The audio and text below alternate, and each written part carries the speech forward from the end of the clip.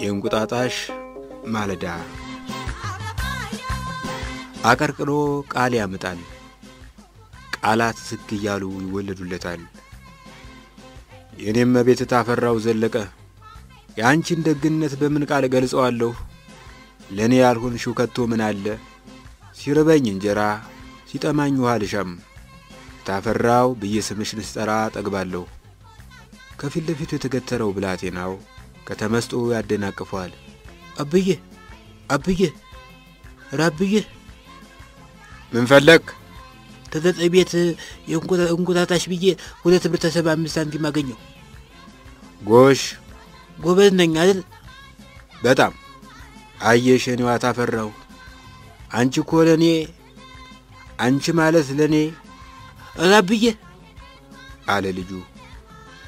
ምንድን ነው በሽቆ ጮኸበት። በብሩ ምን ልግዛበት? ብሩ ብሩማ ያንተ ነው። ምን ልግዛበት? ደብተር ግዛበት። ደብተርማ አንተ ትገዛልኛለህ። እሺ ከረሜላ ምናምን ግዛበት። ወደ ደብዳቤው ተመለሰ።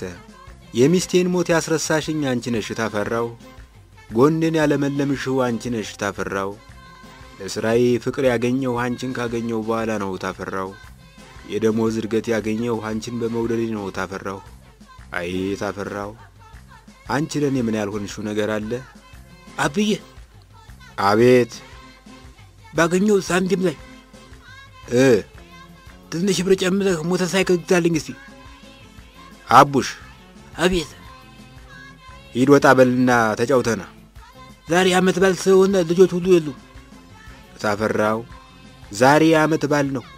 እንኳን አደረሰሽ። ባለቤትሽ ዛሬ አብሮሽ እንደሚውል ሳስብ አንዳች ስሜት ውስጤን ወረረው። ከትናንት ወዲያ እሱ ያንን ተራራ የሚያክል መኪና እያሽከረከረ በረሃ ለበረሃ ሲኳትን፣ አንቺና እኔ ባልጋችን ላይ ዓለማችንን እንቀጭ ነበር። ረሳሹ እንዴ? ልትረሹም አትችም። እንዴት ተደርጎ አብዬ ባካፈን ዝጋ። ዛሬ ማለዳ ተነስቼ በመስኮት አሻግሬ ወደ በረንዳችሁ እመለከት ነበር። ያ የተረገመ ባልሽ አባ ጨጓሬ መሰለ ክንዱ ላይ ያለውን ክናዳ ሰብስቦ ጠቦቱን ሲገፋ አየሁት። አሁን ያን ጠቦት ብሎ ይግዛው። እውነቴን ነው ታፈራው። ቀንድ ባላይበት ኖሮ ጸጉራም ድመት ገዙ ብዬ አማችሁ ነበር። ሰውዬሽ ምን አይነት ሰፍሳፋ ቢሆን ነው አንቺን ለመሰለች ወይዘሮ ጉፋያ ገዝቶ የሚያመጣልሽ? በዚያ ላይ ገፈፋ አለመቻሉ እንኳን አንቺን እኔን አሳፍረኝ። ቆዳውን አስር ቦታ እየቀደደ ወንፊት ሲያደርገው ሳይ ቢላዋውን ነጥቀህ በዚያ ጥስ ሆዱ ላይ ሻጥበት ሻጥበት ነበር ያለኝ። ምን ያደርጋል አንቺን ማሰብ ደም ፍላቴን ያቀዘቅዟል። አብዬ ምንድን ነው? ወረቀት ስጠኝ እስቲ። የለኝም። እታፈራው የአገመምተኛ ባልሽ ነገ ይሄዳል ብዬ ተስፋ አደርጋለሁ።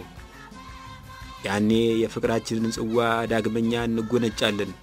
እስከዚያው ግን ይችን ካርድ አበረክትልሻለሁ። የአንቺው የፍቅርሽ ምርኮኛ ኃይለ ማርያም ኃይለ ሚካኤል። ወረቀቱን ገለበጠና ጠረጴዛው ላይ ያኖረው። ከዚያም በሐሳብ እየናወዘ በአካባቢው ወዳለው ሱቅ ሄደ። ሱቁ ተዘግቷል። የሚፈልገውን እስኪያገኝ ድረስ ተንጓለለ። ፖስታ ገዝቶ ሲመለስ አቡሽን እንጂ የጻፈውን ደብዳቤ አላገኘውም። እዚህ ላይ የነበረው ወረቀትስ አለ ከጠረጴዛው በታች ወለሉ ላይ ሲያጣው።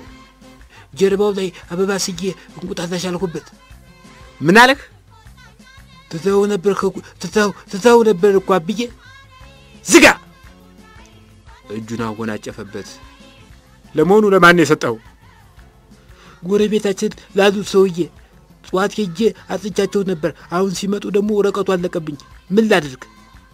አባትየው ለመተንፈስ ተቸገረ።